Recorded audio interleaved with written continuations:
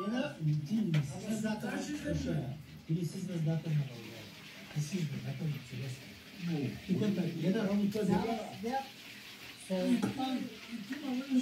Каша, днеска четири човека на звъняха.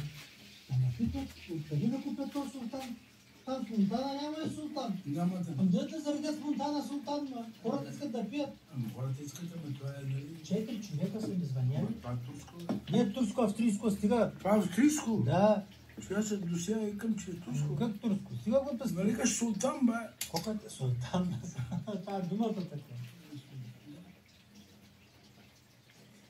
Много е студена.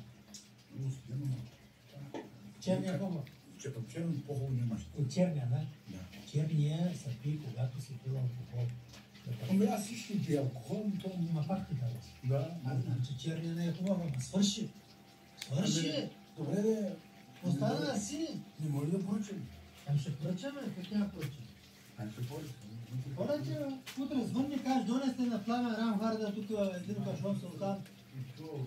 От черния, а? Черния не хубава. Сега нося малко стока. Или ще дадеш първо това стока. Ти, щом си дошъл по това време, то няма начин да няма как да. Да. И тук едно момче ти прати телефони. Телефони. Ото бележката на бележката. Благодаря ти телефони, хората. Кажи благодаря. Благодаря на то? И Пиши човека.